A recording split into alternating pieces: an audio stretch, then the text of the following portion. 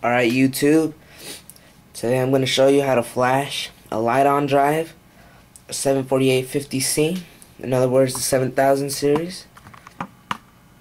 So for this I'm going to show you how to do it using the CK3 Pro and the CK3 Pro V2. So the first thing you're going to have to do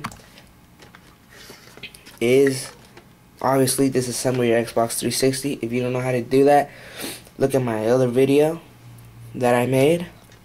Then once you've disassembled it, all you're going to need is the drive. And what you're going to have to do is unscrew these four screws right here. This one, this one, this one, and this one. So I'm to go ahead and pause the video and I'll get back with you guys when I'm done. Alright, so after you finish taking off the screws, what you're going to do is, remember, it's going to be upside down. Just take off this little top put this to the side.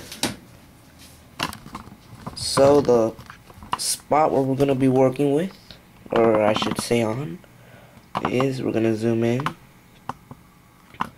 You see this little top left hand corner right here? We're going to work on this area right here. Just zoom in a little bit better. Oh, crap. Let me show you guys. Right here where this little black thing is. If you guys see right there where it says R707 we're gonna probe it with our CK3 Pro right on it. So you guys can see it is this one right here. Down right there. I'll put a diagram in the description just so you don't get lost or probe something else. So the first thing you're going to want to do is connect your SATA cable and connect your power cable. And also for the 7000 drives, you're going to need a either a COM port cable or uh, a USB and you need a probe so the first thing you're gonna do is turn on your drive. Alright.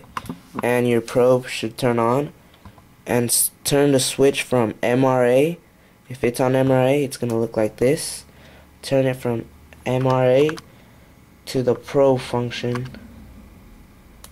And it should be like this and your off switch should be up if it's down, it should have nothing like this, but it should be up. And the LED on the standby button should be on. And we're going to try our first setting with the 20, 20 right here. So, the first thing we're going to want to do is go to Jungle Flash. Alright, so we're on the computer part right now. You're gonna, I'll put a link in the description to download this right here. It's a RAR folder with iXtreme in it so you can extract to desktop.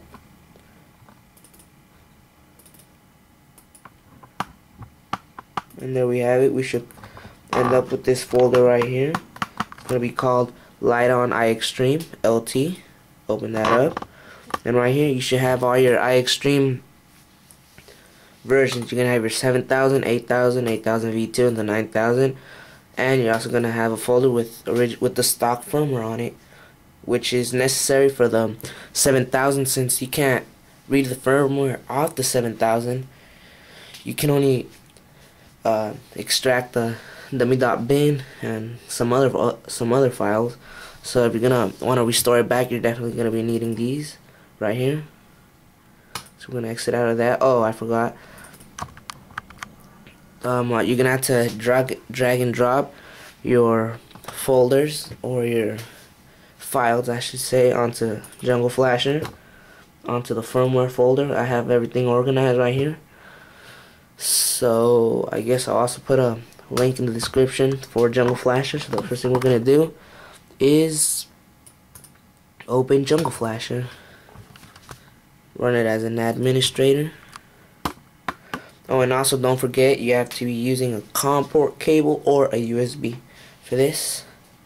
Alright, so the first thing we're going to go ahead is go over to DVD 32 and check our COM port COM port 2 type USB now it should say right there your it should say your DVD type your drive type and I've actually flashed this drive before but I returned it back to stock just so I can show you guys how to flash it. So once we're on DVD key 32 what you're gonna want to do is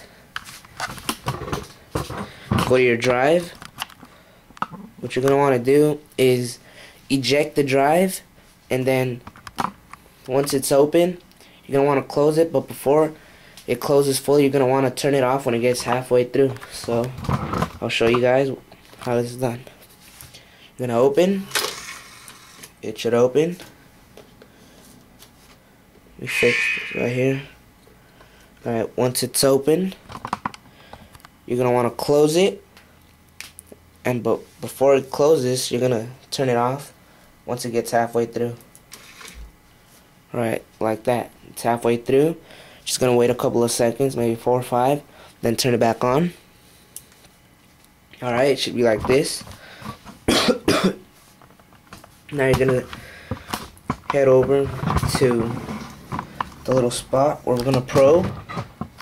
This is where your CK3 probe comes into place. So we're gonna go ahead and zoom in.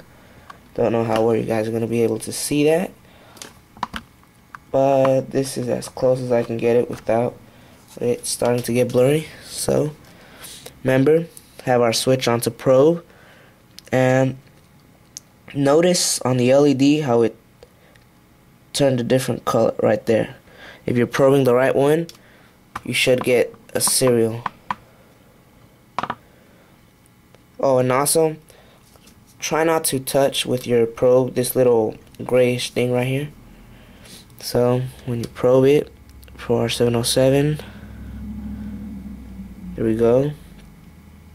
The op switch is in the up position but if you put it down the standby should turn off. So you, I'm not even, I'm not gonna be able to show you this but I'm gonna go ahead and take you to jungle flasher